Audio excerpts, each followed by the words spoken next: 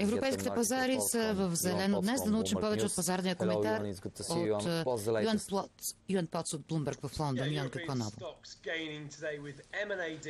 Европейските акции бележат ръст днес, воден от M&A изделки, които подкрепят пазарите. Междувременно тревогите за новите щамове на вируса и проблемите на администрацията на Байден да приеме стимулите правят картината по-смесена. Три и половина часа от търговския ден в Европа. Германския DAX е най-печелившия индекс с 1,7% ръст, но всеки голям пазар в региона е в зелено.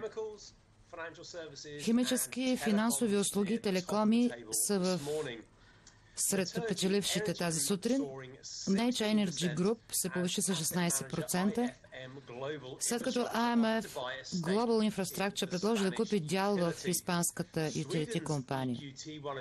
Шведската EQT, една от най-големите компании за частен капитал, се повиши с 10%, след като се съгласи да купи Exeter Property Group за 1,9 милиарда долара. Към Уолл Стрит, фьючерса на S&P 500 се понижиха и доходността по американски държавни облигации се повиши, след като Джо Байден каза, че започва да преговаря по пакета стимули за 1,9 трилиона долара в подкрепа на економиката след COVID. Вчера виж демократ от Сената каза, че едва ли американските стимули ще се приемат преди средата на март. Много разпродажби имаше в Азия. Централната банка на Китай изтегли кеш от банковата система.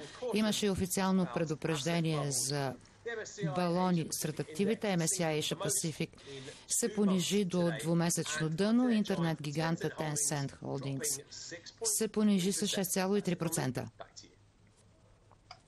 Thank you so much, Ivan.